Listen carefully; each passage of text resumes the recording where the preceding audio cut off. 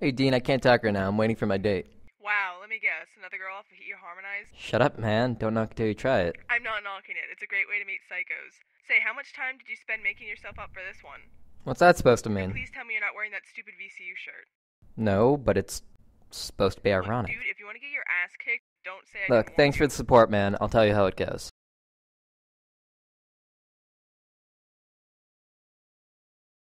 Hey, Hey, you're Jessica? and you must be Nate. Was that a VCU shirt under there? No, but if it was, it would have been ironic. Well, I'm really excited to get to know you after the past few days. Yeah, same here. I mean, I thought we could just, you know, talk about ourselves.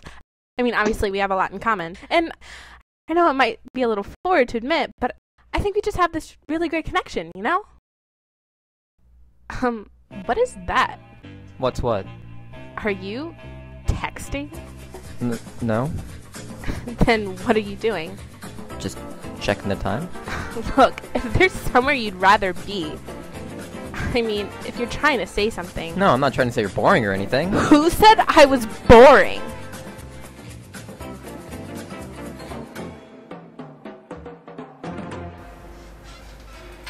That was fast.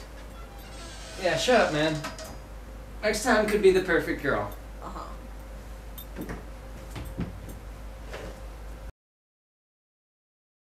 Looks like you already found your perfect girl. Excuse me? I mean, look at your dating profile.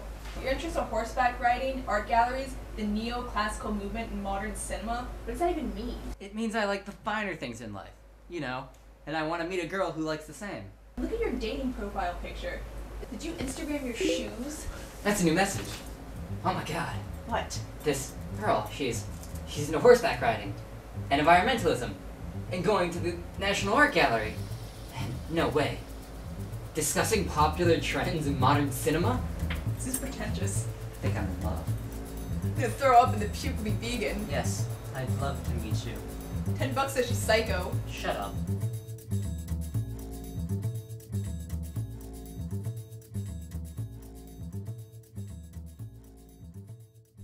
Jessica, what are you doing here?